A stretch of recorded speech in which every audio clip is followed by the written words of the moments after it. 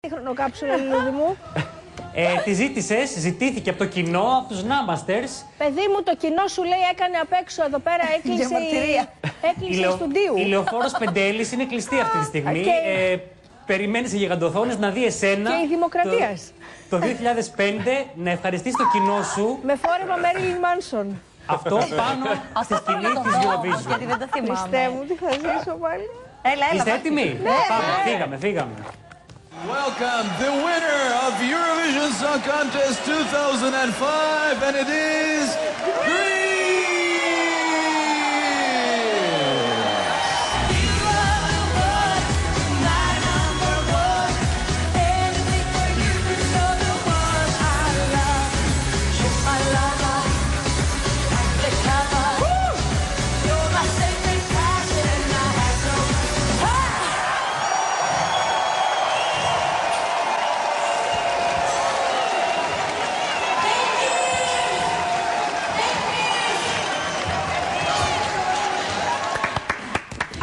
Εντάξει, έλα, έχεις χαρά.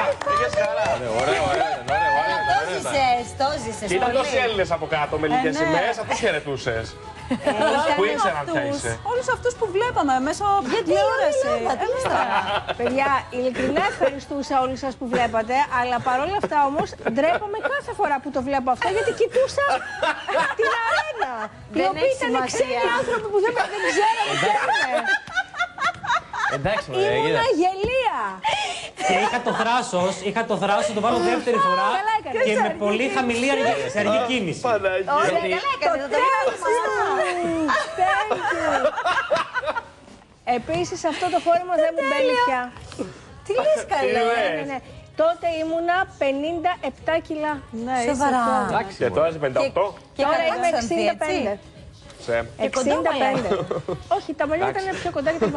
Ε, παιδιά, Πω, πω. πραγματικά όταν το βλέπω αυτό το πράγμα και κι- Εντάξει, ήταν κοιτάζω τέλειο. την αρένα, οι οποίοι δεν αμφιβάλλω αν με βλέπουν την κουκίδα αυτή και τούτη παπαρίζουν όλοι και τους κάνω. Απευθύνομαι στο στάδιο. Δηλαδή ήταν τραγικά γελίο και αστείο κάθε φορά που Έλα, βλέπω. ωραίο Αλλά ήταν, σε- ναι. τώρα που το ξαναβλέπουμε, ας πούμε ότι απευθύνομαι στην Ελλάδα. Ναι, για να το είναι χαρά κανιβαλίσουμε. μεγάλη. Φοβερό. Και με την καρτούλα ε, λι- lyricist, έλεγε η καρτούλα μου. Ε, όχι, δεν lyricist. Να σου πω και κάτι. Τη Eurovision Το θέλετε, καλά λογαριασμό. έκανες. Τώρα πες θες το λογαριασμό. Δεν μπήκες. Δεν τσέπεις. Πολύ ωραία, παιδιά. Εντάξει, και ευχόμαστε. Ήταν, ήταν πραγματικά, επαγγελματικά η πιο δυνατή στιγμή της ζωής μου και με την ευκαιρία να ευχηθώ και σε πολλούς ακόμα α, συναδέλφους να το ζήσουν αυτό και να πάρει και μια Αποτέλεια. πολύ καλή θέση φέτος και το Utopian Land. Ναι, μωρέ, μακάρι. Ειλικρινά, μακάρι και η Ελλάδα να ξαναζήσει μια πρωτιά. Μέσα από την ψυχή μου το, το εύχομαι. να έχουμε και κάτι και να όχι μόνο χαρούμε. σε, σε μουσική γιορτή, να ζήσει πολλές πρωτιές η Ελλάδα γενικά. Καλά. Μην τη ζήσεις τώρα κοντά μα, γιατί δεν έχουμε λεφτά να διοργανώσουμε το διαγωνισμό εμεί. Βρε, αυτό δεν θα το διοργανώσουμε εμείς. Η Σουηδία θα μας το κάνει. Α, ε, Η Σουηδία το κάνει. όχι, λέω άμα κερδίσουμε. Ναι, η Σουηδία το Α, η Σουηδία κάνει. το κάνει. Η Σουηδία πληρώνει τα λεφτά.